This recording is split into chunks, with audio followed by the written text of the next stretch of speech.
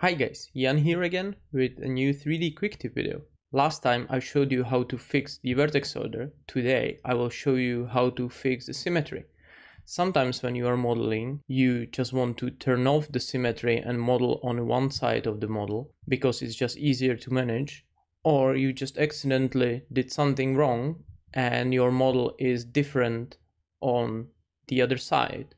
So how would you actually fix that? Let's take a look. Let's do some small non-symmetrical tweaks to the model so we will be able to see the difference between two halves. Let's do something just roughly like this. And we see an obvious difference between this half and this half. So fixing a symmetry was pretty annoying because I already have a vertex order which it was passed down the pipeline. I already have UVs set up for both halves. In this case, they are mirrored, so it's pretty easy to do them again. So how we did it before we had tools to do that. Let me just make a copy. We literally selected half of the model, which was wrong, deleted that, make a duplicate, scale it, merge it together. Then we had to tweak the UVs and fix the vertex order. So there are quite a lot of steps to do that fix. What we can do right now very, very easily is just do it in two clicks. So I have my asymmetrical model here. I will select the vertices which I want to resymmetrize on the other side and go to edit mesh, symmetrize. It will tell me to pick the symmetry axis, which is this, boom, and it's done. UVs are still the same. Vertex order is exactly the same as before. So instead of taking like three minutes to do all the steps I mentioned before, it now takes like two seconds to do. There is a similar tool for symmetrizing UVs. If I open a UV editor, the first set of UVs for me is this one, which is what we usually use in visual effects because each half is exactly the same. So we can easily copy paste the textures from this UDIM to this UDIM. However, sometimes we are requested to make the symmetrical UVs in a single UDIM for example, for groom, rigging, even sometimes for comp. So what if these UVs are broken? Like something quite wild, like this. So how do I fix that? How do I mirror stuff from here to here?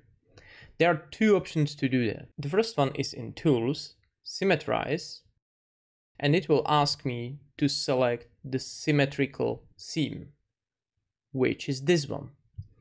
And you can see that the brush appeared and it's a bit slow because my mesh is pretty high res. And when I drag the cursor over one side, the other side is following based on topology. So right now I can just paint over the surface and it will snap these vertices back based on what's highlighted in blue. So I can just paint selectively which UVs I want to be fixed.